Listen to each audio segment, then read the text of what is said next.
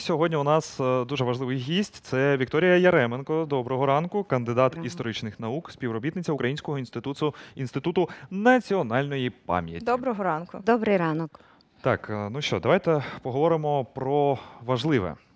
Давайте. Про важливе. Так, е, завтра, 8 травня, це День єдності та пам'яті. День пам'яті та примирення Пам'яті та примирення, я Так. перепрошую. І 9 травня День перемоги над фашизмом. над нацистською Німеччиною. Це Ну, я зараз прям- так звучить, От, от, саме як в законодавстві, саме е, угу. таке має. Давайте поговоримо про е, все ж таки причини, які були, е, враховуючи Другу світову війну. Ми розуміємо, що Перша світова війна закінчилася не так багато довго часу минуло перед тим, як почалася Друга світова. І результати цієї Першої світової війни е, загалом міжнародну спільноту не зовсім влаштовували. І країни, які програли в цій війні, вони прагнули, так би мовити, змінити ситуацію. Е, Країни, такі як е, Німеччина, Італія, ми знаємо, що не бул, їх не влаштовував, так би мовити, а, той е, розподіл, який виник загалом у світі після Першої світової війни. Плюс Німеччина, ми розуміємо, в якому колапсі була після Першої світової війни.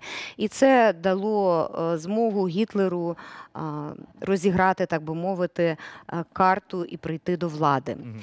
Е, Зрозуміло, що е, всі е, його, його мета і мета вивести країну з кризи далі посовувалася за схемою нарощування от якраз а, військового потенціалу і також передбачала агресивне захоплення територій, зокрема спірних територій, які виникли в результаті Першої світової війни. Але в процесі розвитку подій ми бачимо, що е, далі йшлося вже про гегемонію у світі. І Радянський Союз, який на цей момент е, також мріяв, в- і весь час йшла мова про світову революцію, так би мовити, і про експорт, експорт комунізму далі в світ, е, він також розглядав можливості змінити ситуацію. У світі в результаті е, таким поштовхом, причиною до початку війни, ми знаємо, що стало 23 серпня е, 1939 рік підписання пакту молотова ріббентропа і розмежування територій. І фактично це була домовленість уже про те, щоб починати Другу світову війну. Першим почав Гітлер 1 вересня, а вже радянський Союз вступив до війни 17 вересня 1939 року. Продовжуючи тему історії, хотілося б запитати загалом значення е, в історії світу, от саме цього періоду Другої світової війни. Е, Ну, значення цього періоду ми ще до цього часу відчуваємо на собі, тому що це був такий дуже а, глобальний конфлікт, який практично дві третіх країн, в якому брали. А, Безпосередньо чи опосередковану участь, це е, також е, така величезна кількість людей в цьому конфлікті. е, чи постраждала, чи брала безпосередньо як військові участь, е, чи загинула також дуже велика кількість людей. Е, Ми розуміємо, що е, Друга світова війна змінила. Світопорядок, вона змінила взагалі певною мірою території розселення певних народів, змінила певною мірою і антропологічний тип.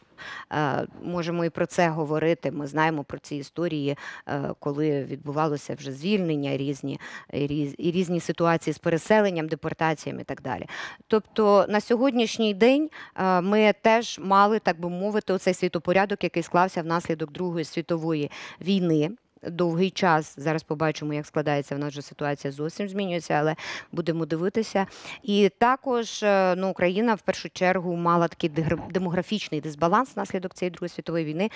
Який вона до цього часу, як говорять в інституті демографії, так би мовити, ще е, виправляє, не дивлячись на те, що вже триває війна на сході, і теж відбувається певний вже демографічний ще один такий виток. Тому ситуація тут е, Ну, така, що як? плоди ми пожинаємо, так би мовити, і на сьогодні.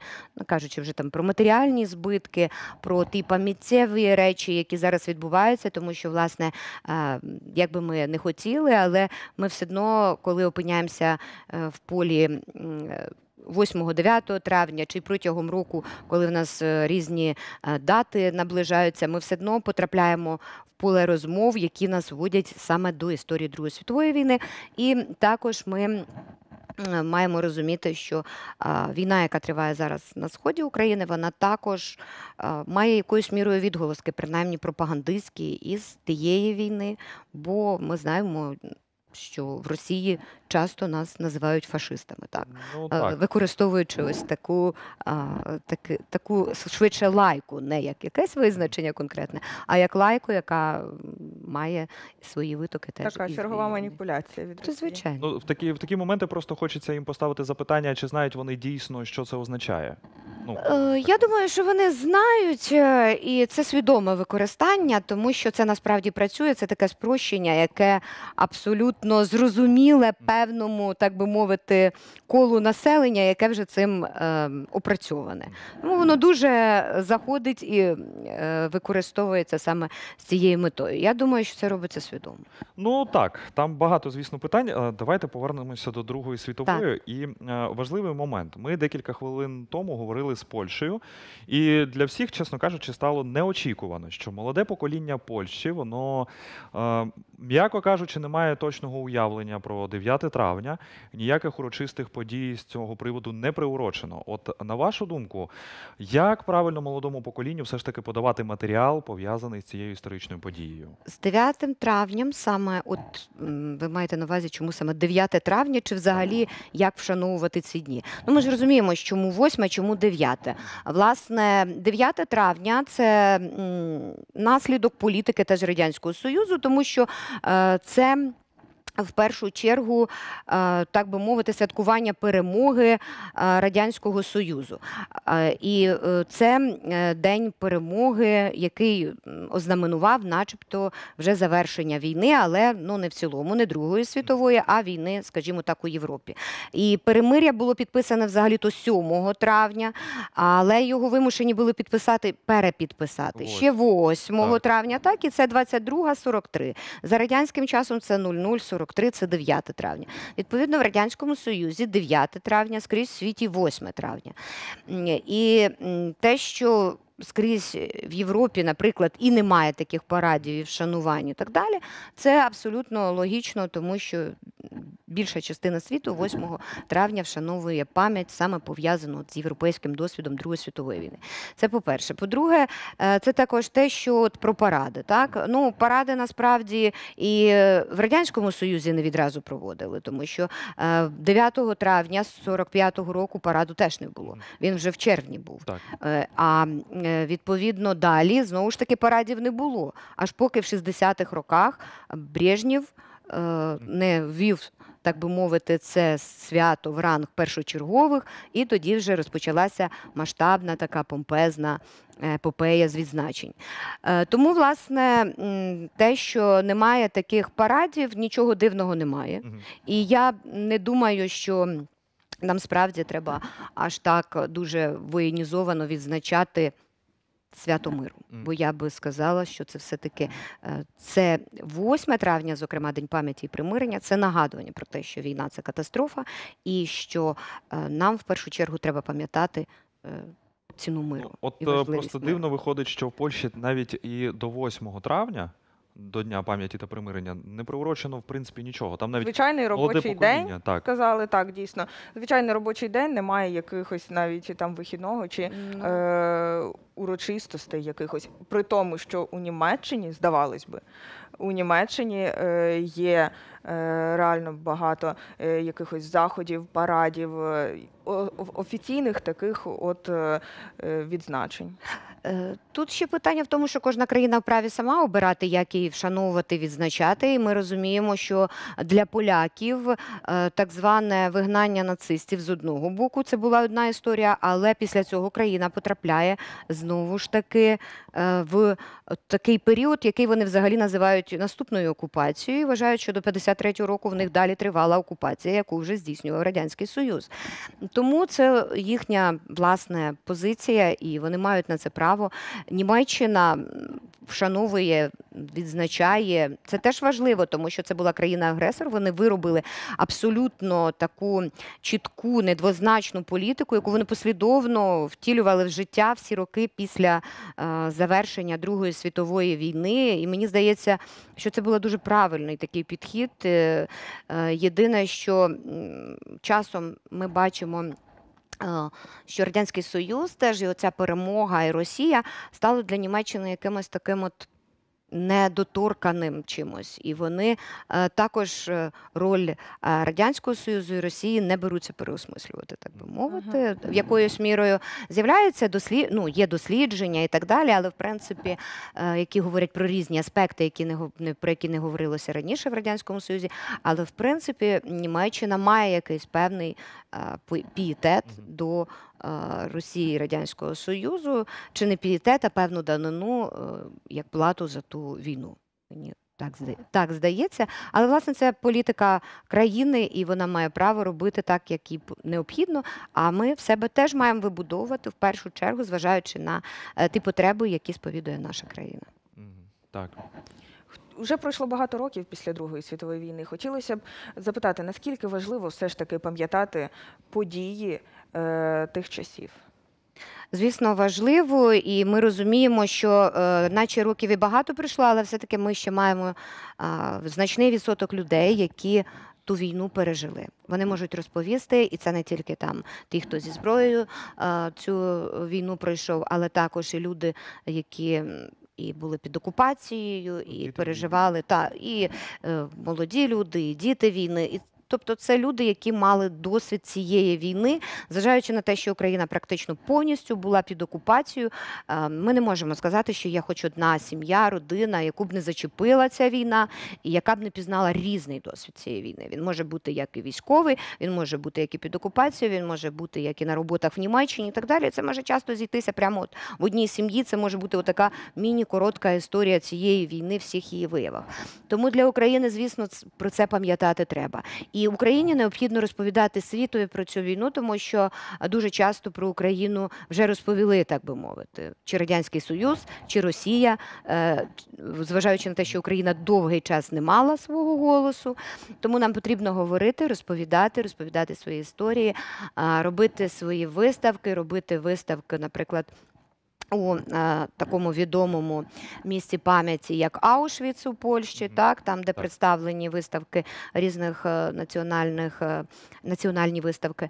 І ми маємо також розповісти світу про себе в цьому, е, в цьому на цьому місці пам'яті, бо поки що української виставки там нема. Важливо пам'ятати, важливо розповідати. Це тема, яка досі дуже турбує і е, міжнародну спільноту, і нас також. І це імідж певний світовий, і наша і наша пам'ять, щоб вшанувати наших рідних. От хотілося б ще ем, згадати все ж таки саме роль України у Другій світовій війні. Роль України в Другій світовій війні вона м, ключова, я б сказала, певною мірою. Хоча в той же момент е, Україна не була. е, Державою окремою, тому е, це в першу чергу треба, коли ми говоримо про е, Україну і війну, говорити про те, що Україна вступила в цю війну відразу, 1 вересня 39-го року. Вона вступила своїми територіями, зокрема, тому що ми знаємо, що е, західної України території вони е, входили до Польщі, і відповідно, коли Німеччина напала на Польщу, е, Україна відразу опинилась теж в епіцентрі подій, і українські західні міста зазнали бомбардувань уже 1 вересня і в перші числа вересня подальше. Тобто Україна в перший же момент була втягнена в цю війну. По-друге, Україна була в цій війні теж в різній ролі, так би мовити. І коли Радянський Союз а далі, як союзник Німеччини, вводив війська, Україна теж була і серед цих радянських солдат, які йшли туди, в Західну Україну. Е, Зважаючи на те, що Україна от у нас. е, Не мала своєї держави, і фактично на початок війни була такою однією з найбільших бездержавних націй. Українці мусили часом воювати один проти одного. Ми знаємо, що це є така трагічна сторінка, її уникнути неможливо, але коли ми про неї говоримо. Ми маємо максимально деталізувати і пояснювати, бо просто про це не вдасться сказати. Наступне, що Україна практично повністю була окупована. Україна взяла на себе дуже великий удар. Окремо, що Україна на е, якщо ми говоримо про східний фронт, то Україна відтягувала на себе е, за різними даними, наприклад, якщо війська Вермахта від 50 до 75%. Фактично, і е, червоноармійців теж було сюди перекинуто 50%. Ми можемо говорити, що такий важливий один з головних театрів бойових дій Східного фронту. Е, Також Україна. е, Вивезла в тил радянського союзу велику кількість підприємств, велику кількість фахівців, велику кількість е, е, інженерів і так далі, які працювали для того, щоб знищити нацистську Німеччину, для того, щоб припинити цю війну. І багато із цих підприємств вони так і не повернулися, тобто вони віддали свою данину, але назад до України повернулися. Україна заплатила величезну, величезну таку ціну своїми культурними цінностями, тим, що в Україні було дуже багато знищено, зруйновано міст, сіл, населених пунктів. Те, що в Україні є один з найбільших населених пунктів, спалений нацистами Корюківка, де близько 7 тисяч жертв. Е, Це те, що Україна е, практично дала близько 7 мільйонів солдатів. Це те, що Україна заплатила свою ціну понад 5 мільйонів цивільних жертв через те, що знову ж таки була повністю окупована. Е, Фактично, коли ми подивимось на ту величезну ціну, яка була сплачена Україною, то звісно ми можемо говорити про те, що її роль була однією з першорядних, але знову ж таки ми не маємо забувати, що внесок кожної країни, яка боролася з нацизмом, яка боролася із е, агресором, вона дуже важлива. І коли одна з країн починає протягувати на себе ковдру і е, казати про те, що є виключна роль якогось одного народу, чи нації, чи країни, то це абсолютно неправильно, тому що саме завдяки тому, що були відкритий другий фронт, завдяки тому, що були поставки ленд-лізу, завдяки тому, що врешті світ зрозумів і об'єднався, і здійснив отаку спільну дію, е, сталася ця перемога і 8 9, так би мовити, травня, і е, врешті війна була закінчена 2 вересня 45-го року. Хоча, як бачимо, пропагандистсько вона продовжує тривати і надалі. Хотілося б запитати, от ви співробітниця Інституту національної пам'яті. На вашу думку, чи достатньо в Україні е, музеїв, виставок, пам'ятників, е, які б власне вшановували пам'ять героїв Другої світової війни? Е, Ну, ви знаєте, взагалі в нас справді музеїв, пам'ятників дуже багато. І завдячуємо ми і Радянському Союзу, бо ми отримали досить такий великий спадок. Бо е, після того, як е, Леонід Ілліч Брежнєв е, знову ж таки зробив це свято першочерговим, і основна увага війні почала приділятись, то практично з'явився шквал мемуарів, споменів, з'явилася маса пам'ятників, музеїв, і практично ми не знаємо ні одного містечка, села, де б не було. Всіх школах це було практично.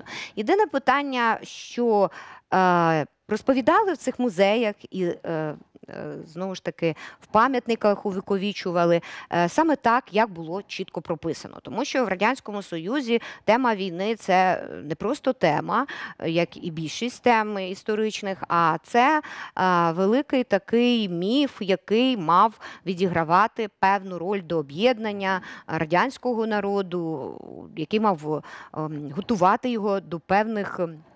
Дій тому, е, зважаючи на те, що Україна сьогодні незалежна держава, е, я думаю, що нам потрібно переосмислювати, і ми над цим працюємо зараз всі, і змінювати те, про що ми розповідаємо в цих музеях, змінювати символіку, е, змінювати знову ж таки акценти. Але робота триває. От, наприклад, нам треба говорити не тільки про те, що в нас в Україні, але й те, що за кордоном, того що багато загиблих українців залишилося там. І от на сьогодні до нас звертається МЗС, і вони говорять про те, що от е, на території таборів треба проводити.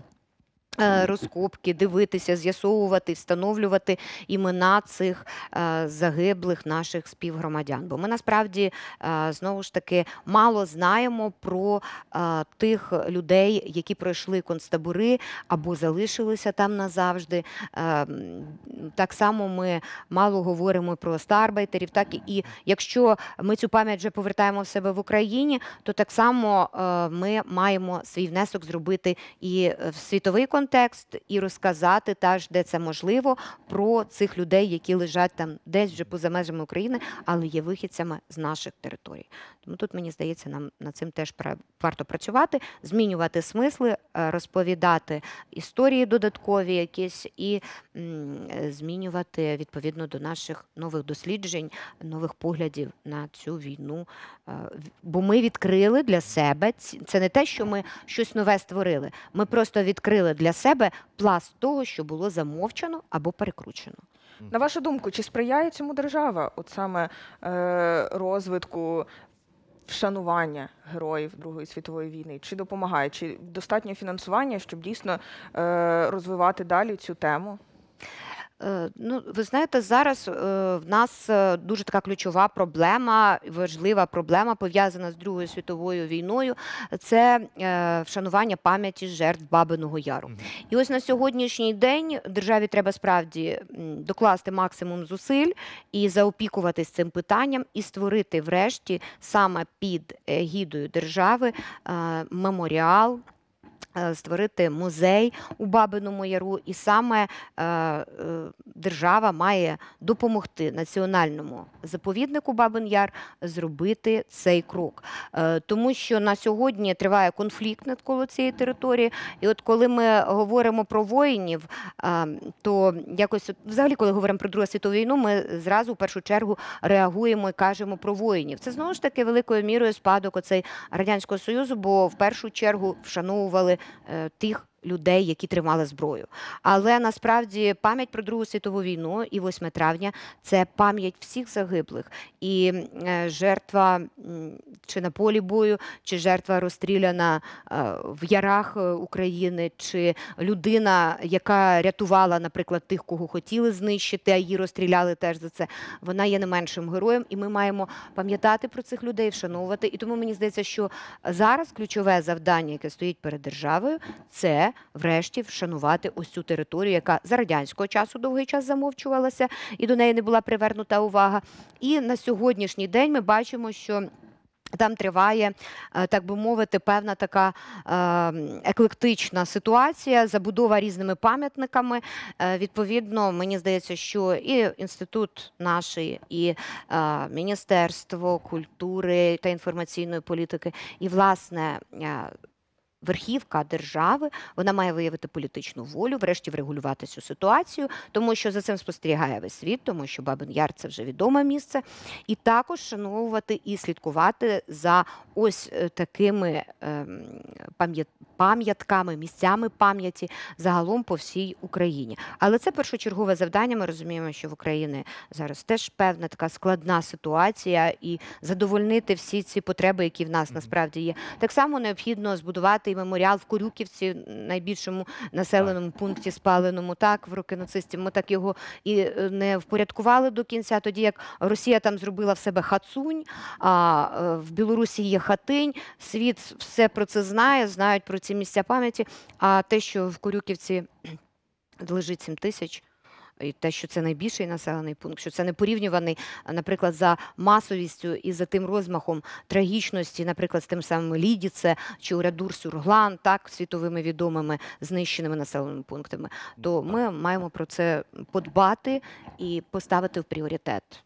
Просто е, ну, е, дивно, що про це не подбали, тому що із 1300 населених будинків, які там були, у буквально там за декілька за один день було 1290 знищено. Ну, ви бачите, це ж теж політика радянська була. Обрали ж хатині, а не обрали Корюківку. Так. Е, І вчені зараз розмірковують над цим і говорять про те, що е, розвінчують міфи навколо Корюківки. Так вже є певна підбірка публікацій, і говорять про те, що, е, ну, по-перше, м, партизани були поряд. Партизани бачили, як знищували цей населений пункт. Е, і, власне, хатиню брали тому, щоб перекрити Катинь, бо назви були близькі. Відповідно, вона більше заходила для того, щоб розповідати, ніж сім тисяч в Корюківці. Ну і власне про тих, хто знищував, е, ми довгий час не знали цю Корюківку, бо е, саме інститут, до речі, цю тему підняв, і ми з'ясували, що е, очолював знищення цього населеного пункту, очолювала зондеркоманда 4А, та сама, що знищувала в Бабиному Яру.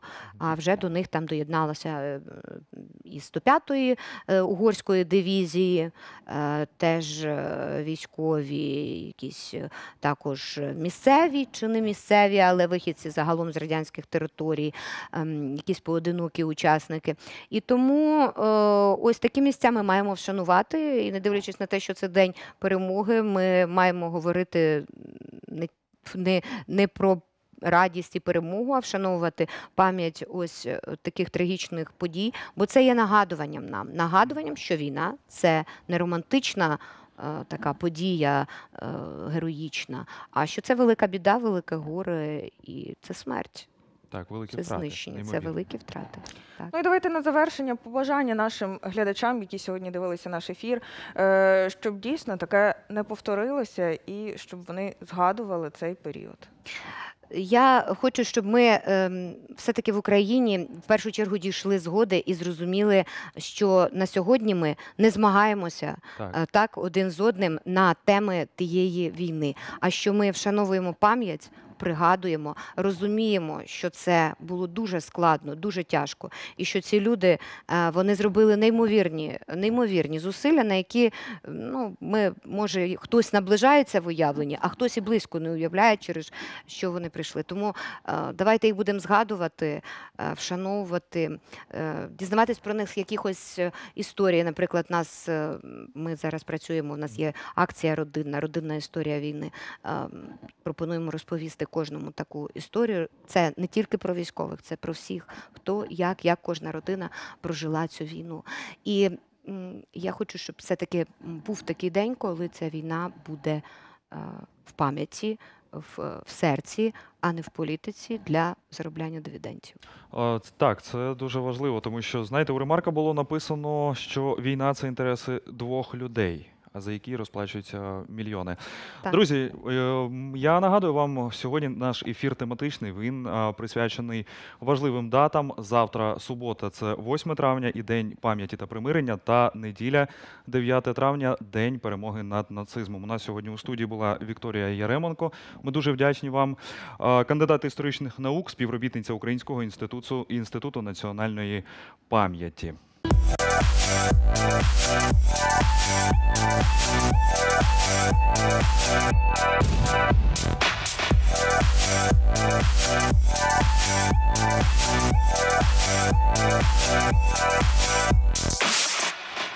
Друзі, дякую за вашу увагу. Щоб завжди бути в курсі усіх актуальних е, новин. Е, Підписуйтесь на наш YouTube канал і слідкуйте за нашими новинами. Ну і головна умова, аби нічого не пропустити, увімкнути дзвіночок на нашому ж таки каналі.